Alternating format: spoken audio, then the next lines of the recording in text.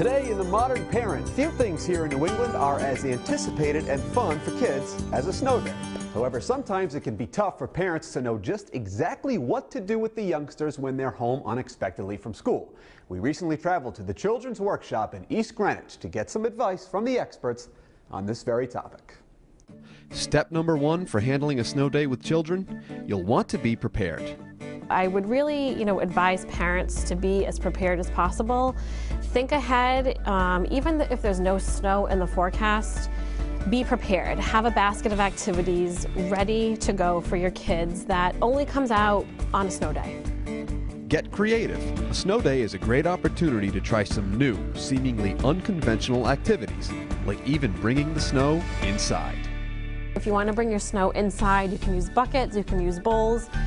Get some spoons out of your kitchen, and if you want to make it extra fun, you can use some food coloring with water.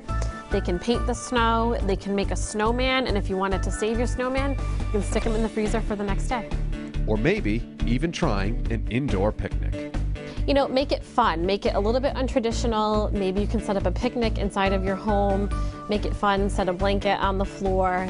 Naturally, you'll want to utilize some old favorites as methods of entertainment as well. Chances are your kids probably have a ton of board games and the ones at the bottom probably are never getting used. So it's always a good idea to maybe keep five toy, five games on the shelf and keep some games up in the cupboard and maybe rotate them every now and then. It's also a great time to begin some new traditions that you can all enjoy for years to come. So maybe every year um, when you have a snow day, there's a special activity that you do, whether it be maybe you make hot chocolate and s'mores, or whatever the case may be. So set a tradition, but also take photos, create memories. Maybe they have a special place in your home.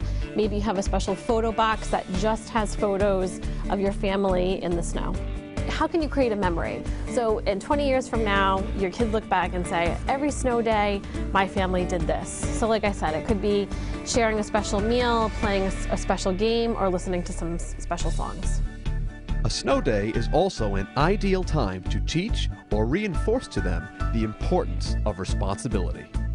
We all always have, you know, chores or things that always need to get done around our homes. Everybody always has loose ends that need to be tied. So give them a list of items to do. Maybe there are three or four chores you'd like your kids to complete, and after we complete these chores, then we get to do this fun activity.